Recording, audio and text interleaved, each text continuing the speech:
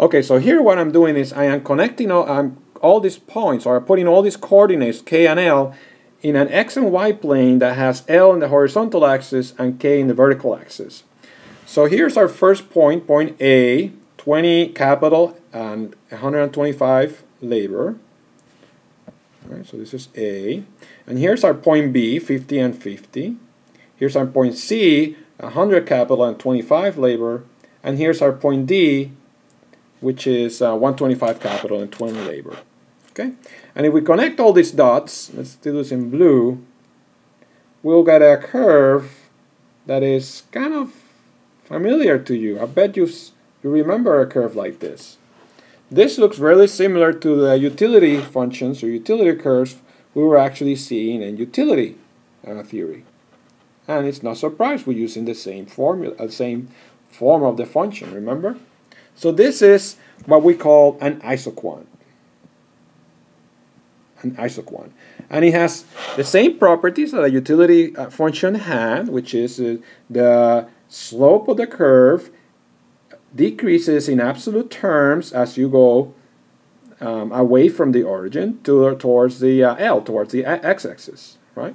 The, as the number of as the number of units of labor increases, right? You go down here, and the number of capital units decreases. Your slope of the curve is actually decreasing in absolute terms, and that's to you know that that's the fact that labor has diminishing marginal returns. And that's what we said before, right?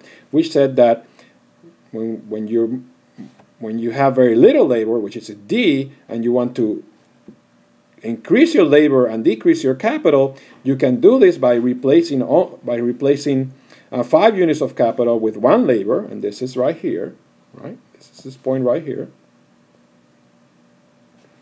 But when you have um, a lot more labor, let's say at 50, it will take a lot longer, a lot more to actually replace that capital uh, with labor. Right? At that point, uh, you will need 20, uh, uh, what is it, 75 units of, of labor to replace only 30 units of capital. So the fact that this isoquant has a diminishing, uh, um, a smaller slope in absolute terms as the number of units of labor increases reflects the fact that labor has diminishing marginal returns. And the same for capital. As you increase the number of units of capital, the slope is going to be is going to get uh, larger in absolute terms because you will need more capital in order to replace um, uh, a lot less units of labor. Right. So um, so we are gonna, this is uh, the curve we're gonna be using in order to uh, study production. Now another thing you, uh, you should notice is that all these combinations of labor and capital give you 50 units of output. That means the same way in which a, one utility curve has the same utility along the same curve, the isoquant will have the same unit of output along the same uh, along the same curve. So uh, let's get rid of these points now here. Uh, what we're saying is that this isoquant along every point is going to give you 50 units of output. Now the last thing it should be clear to you is that if the, is the amount of output increases, then uh, the isoquant is going to move to the right, right? Because um, let's say you can produce, you can actually produce more output if you want, and since the form of the production function is the same, Every time you produce more output, what you do is you move to an isoquant that is farther away from the origin but keeps the same slope. And the same thing if you produce less output. And you can try this on your own. What you can do is you try to do the numbers again, and instead of being 50 capital, try with 25.